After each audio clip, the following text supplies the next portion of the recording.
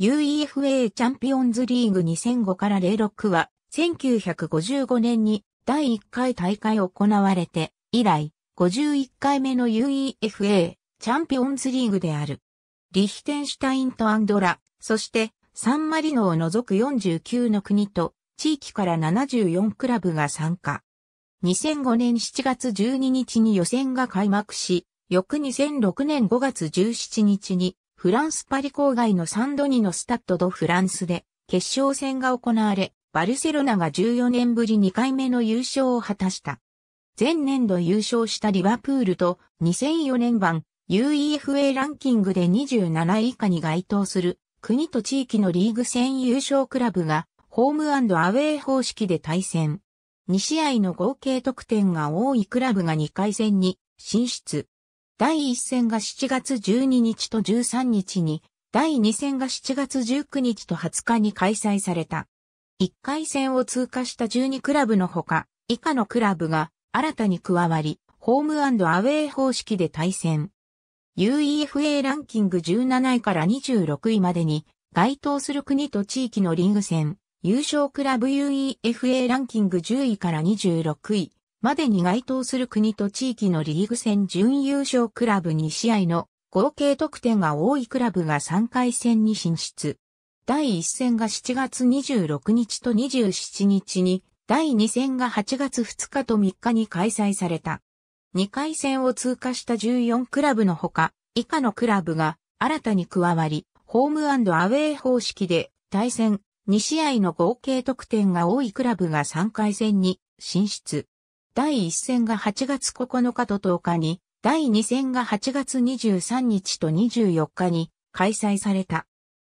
UEFA ランキング11位から16位に該当する国と地域のリーグ戦、優勝クラブ UEFA ランキング11位から16位に該当する国と地域のリーグ戦、準優勝クラブ UEFA ランキング7位から9位に該当する国と地域のリーグ戦、準優勝クラブ UEFA ランキング1位から6位に該当する国と地域のリーグ戦3位、クラブ UEFA ランキング1位から3位に該当する国と地域のリーグ戦4位、クラブ勝者はグループリーグに、一方敗者は UEFA カップ1回戦に進出。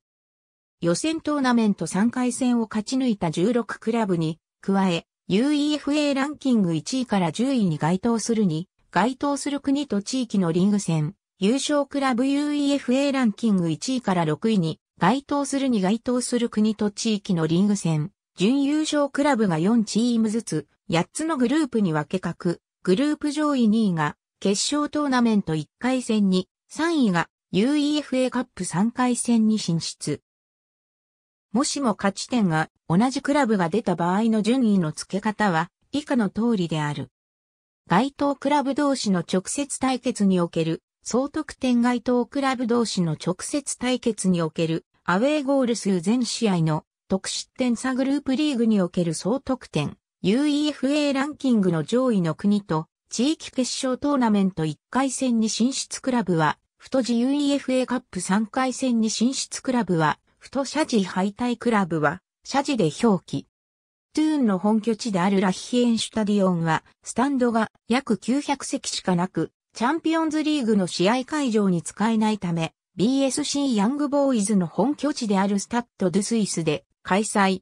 リールの本拠地であるスタッド・グリモンプレ・ジョリスは、改修工事中により使用できず、チャンピオンズリーグ規定に適合し、リールに近いスタッドフェリックスボラールもしくはパリ、サンドニを使用する可能性が残っていた中で、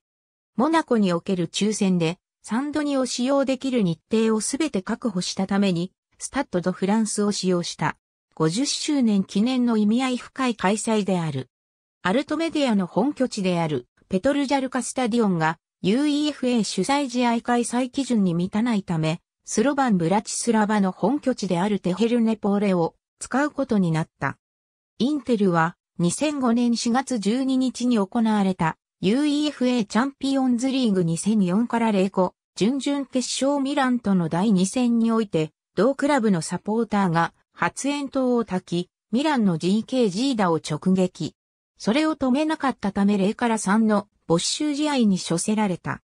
後日、UEFA は30万スイスフランと同連盟主催のヨーロッパクラブ国際試合のホームゲームについて、向こう3年間の間で条件付き4試合の無観客試合とする制裁を決めたことによる。第1戦が2006年2月21日と22日、第2戦が3月7日、8日、14日に実施。チーム1に記載されたクラブが第1戦のホームゲームになる。は、アウェーゴール方式による勝ち抜けを示す。第1戦が2006年3月28日と29日、第2戦が4月4日と5日に開催。チーム1に記載されたクラブが第1戦のホームゲーム。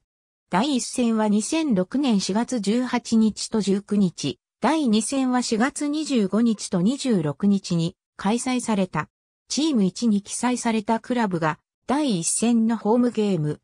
ミラン対バルセロナのサポーター決勝戦は2006年5月17日にスタッド・ド・フランスで開催された。